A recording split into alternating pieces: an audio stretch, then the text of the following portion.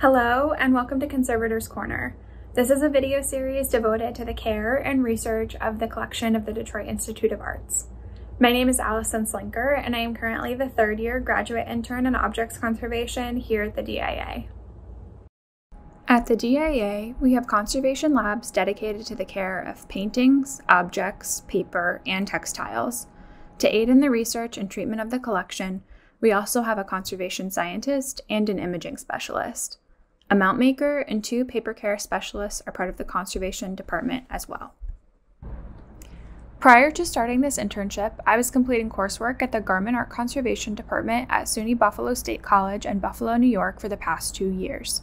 This year, the third year of my program, is a 12 month long intensive internship to supplement my academic training and coursework. My role as a graduate level intern in conservation is to work with the conservators, conservation scientist, and imaging specialists to complete conservation treatments, perform scientific research, and assist with other lab and department projects, all as part of my graduate school training. My role as an intern corresponds directly with the responsibilities that conservators at the DIA and other museums have. One of those responsibilities is exhibition preparation. A conservator's role in exhibition preparation involves a lot of collaboration with other departments and people at the museum, including the collections management department, the curator, the museum's mount maker, the registration department, and the exhibition department, just to name a few. Often, the curator's vision helps steer what artworks and cultural heritage are considered for an exhibition, and it's a conservator's job to determine if those pieces can be safely displayed and look their best. Conservators then work with many other museum staff to plan out how the artwork will be displayed in the museum's galleries and get those pieces ready for display. Recently, I had the opportunity to assist with the installation of the newly opened contemporary exhibition of works in the DIA collection, Experience and Expression. My role was to review many of the three dimensional objects in the exhibition and make sure they were ready for display. That included examining and writing reports on each piece in order to document its condition prior to its installation. Writing these reports is important for understanding each artwork and provides the conservator with insights and knowledge to help guide other staff when installing each piece. I also worked with Jim Storm, the museum's mount maker, to ensure the sculptures looked their best and could be safely displayed. Mounts are incredibly important for keeping both artwork and visitors safe. Additionally, I performed treatments on artworks that required it. One such treatment was on this stunning textile by the Jamaican born artist Ebony Patterson. The piece has dozens of knotted embroidery threads that cascade down from the jacquard panel. In storage, some of the threads had become tangled together, so I carefully worked to untangle and place each one in order to show the work the way Patterson intended.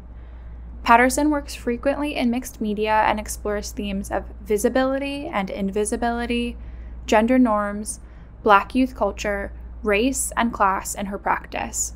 Her artwork is often vibrantly colorful and richly ornamented to draw in viewers and confront them with harsh truths and realities of our world.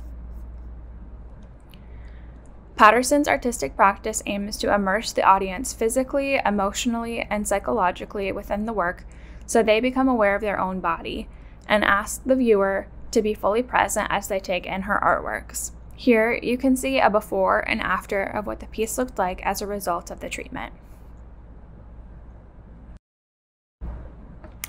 Once all of the works in the exhibition and their mounts were ready, they were installed in the gallery by the collections managers and technicians.